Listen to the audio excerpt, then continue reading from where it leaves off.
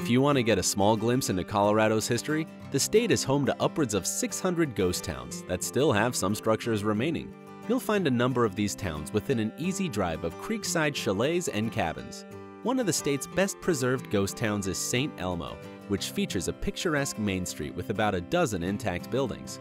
Hancock is located just beyond St. Elmo, and while there aren't many buildings left in town, there are several cabins nearby, as well as the Alley Belle Mine. For another well-preserved ghost town, head to Vicksburg. Listed on the National Register of Historic Places, the town has quite a few cabins still standing, as well as a museum that's open in the summer. Winfield is about 4 miles from Vicksburg, and it's home to a schoolhouse and a cabin that are maintained by the Clear Creek Canyon Historical Society.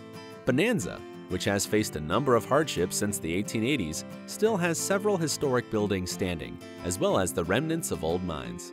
Finally, there's Independence Ghost Town, which has abandoned cabins and other structures on site, all of which are set against a beautiful mountain backdrop at about 11,000 feet above sea level. We hope you have a wonderful and safe time exploring these incredible historic locations.